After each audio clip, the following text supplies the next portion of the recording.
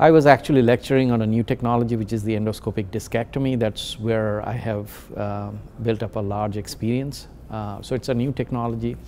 It's a technology that allows us to perform truly minimally invasive spine surgery uh, using a percutaneous methodology, using a microscope or an endoscope, and lets us access all the structures in the spinal cord that would otherwise have to be opened up and have big back surgery.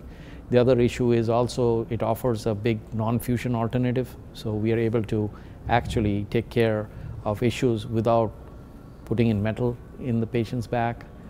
Since we are doing the surgery through a minimally invasive route, there are certain distinct advantages. One of the advantages is the chance of having a smaller chance of infection, there is decreased hospital stay, and patients get healthier faster because the incisions are smaller.